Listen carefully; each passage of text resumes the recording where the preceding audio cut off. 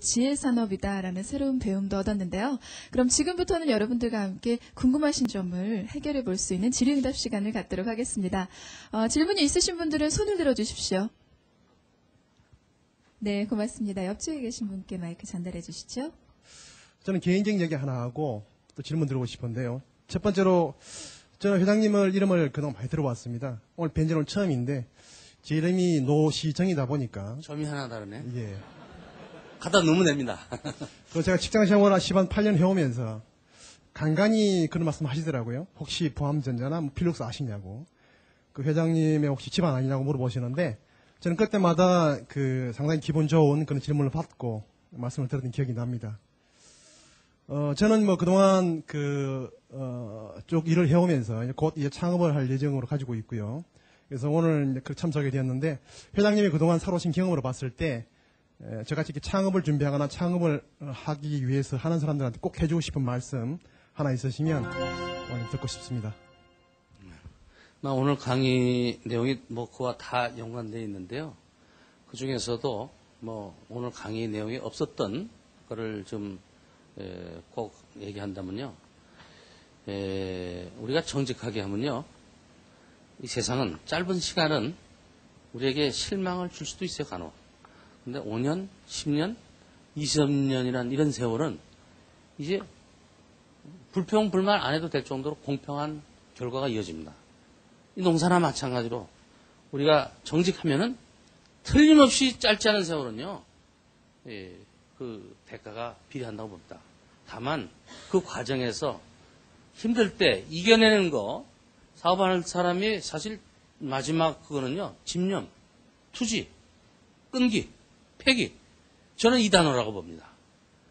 이것이 없으면 운동도 안 되고 사업도 안 되고 경쟁해서 안 되는 거예요. 사업은요, 사실 그걸 실전하는 전쟁터거든요. 총알만 없다 뿐이지 망했다고 억울하다는 말도 못해. 총알 맞고 쓰러지면요 충원탑 갔을 수도 있지. 저 저 저 저 그래도 의롭다고라도 하지. 사업은 망하면요 한 말 못해. 그래서 저는 그 참그 그 사업을 하시는 분들에게 하고 싶은 건 음, 과감하게 하라 권하고 싶고 또 여러분들 혹시 자녀나 이웃 사람들에게는 아, 좀 그런 그 경쟁을 피하려고 하는 도와주는 게 아니에요. 언젠가 경쟁 앞에 섰을 때 그냥 쓰러지면 어떡할 거예요? 그런 것도 습관이고 훈련이고 예습이다 이거죠. 그런 면에서 저는 고생을 아이들의 고생을 돈 주고 사서 시켰나. 그래야 그 나무가 단단해지고 커지고 그거 안 하고 형통하게 그냥 자랐다. 그거 어떻습니까? 버드나무인데 쓰러지죠. 이런 신념을 갖고 여러분들 음, 하시면 될 것으로 생각합니다. 네, 노 시장님 답변 충분하셨습니까? 네, 고맙습니다. 오늘 노시청님께서 노시청 회장님을 만나 뵙게 된 것이 다른 분들보다 더 각별할 것으로 생각이 드네요. 아, 그럼 계속해서 마지막 질문자를 받도록 하겠습니다. 어, 정말 이것만큼은 꼭 여쭙고 싶었다라는 질문 있으시면 과감하게 손을 들어주시기 바랍니다. 네, 앞쪽에 계신 분이요.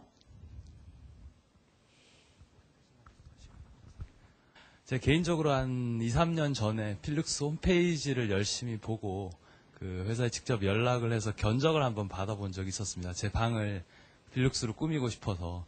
근데 당시에 지금도 아마 그럴 것 같은데 제 이제 월급 수준에서는 도전하기가 좀 망설여지는 금액이 나왔, 나왔는데 지금 머릿속에 이제 생각하고 있는 게 제 딸이 이제 좀 커서 공부를 할 때쯤 되면 이제 그런 방을 딸에게 꾸며주고 싶은데 지금 말씀하신 사회 어, 기업을 운영하시면서 최종 목표로 가시는 데 있어서 전체 어떤 삶 국내도 마찬가지고 해외도 마찬가지고 전체 인류 삶, 삶을 사는 모든 사람들에게 그 가지고 있는 제품을 잘 쓸 수 있게 하고 싶으신 것이 원초적인 목표일 것 같은데요. 제가 이제 기대하기로는 그런 손쉽게 결정만 내리면 접근할 수 있는 수준에 가려면 조금 더 걸릴 것 같은데 그때가 언제쯤 될 것인지가 듣고 싶습니다. 우선 사과의 말씀 드리고요. 저희가 이게 신상품이다 보니까 가격이 처음엔 굉장히 비쌌어요. 그런데 이제는 많이 낮아졌어요.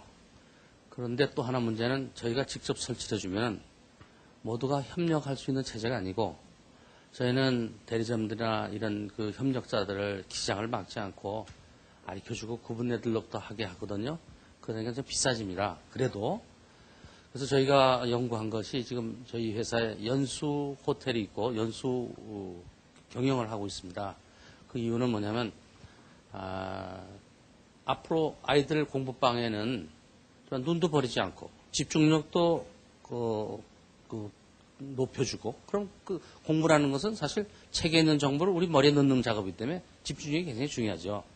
그리고 건강을 위해서도 리듬을 위해서도 중요하고요. 근데 이런 거를 부모님이 아시지만 비싸서 못할 경우를 대비해서 저희가 한 프로그램이 아버지하고 아이하고 같이 회사에 1박 하면서 먹고 자고 보고 저희가 그다 시설이 좀 다 됐어요.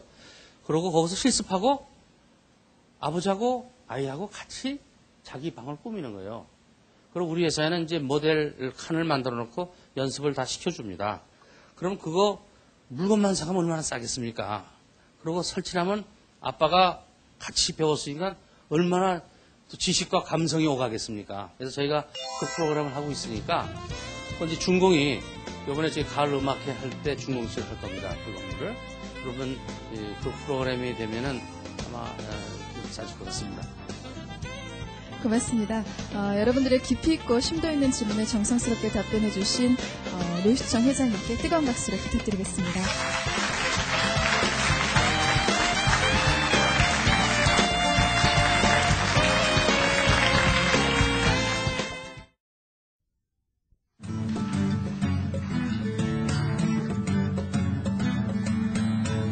요즘에 우리나라에서는 기업인들이 일반 사람들에게 좋은 평가를 받지 못하고 있는 것 같습니다.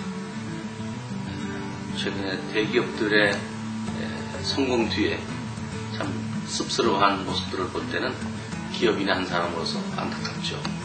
근데 오늘 이 책 웰치께서 쓰신 위대한 승리라는 책을 제목부터 마음이 끌렸는데요. 다 끝날 쯤 돼서 생각할 때는 아, 이 책 제목은 위대한 승리 못지않게 깨끗한 승리라는 이런 제목으로 바꿨으면 할 정도로 저에게는 큰 감명이 된 책입니다. 이 책이 여러분들에게 도움이 됐으면 좋겠습니다.